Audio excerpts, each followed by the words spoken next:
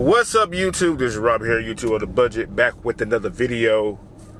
Hopefully, y'all guys like that edit. Uh, this video isn't really nothing in particular, but guys, but guys, I just have one positive thing to say.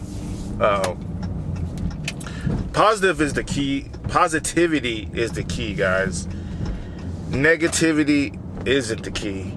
Negativity isn't nothing but hate, the devil, etc., etc., etc. Guys, one thing remember in life sometimes you might feel like you're doing bad, but just think about it. It's somebody out there that's doing worse than you. So stay humble, stay true to yourself, and stay blessed. That's all I got, guys. I'm just practicing on my editing. I'm trying to get my edit game up. Hopefully you liked it.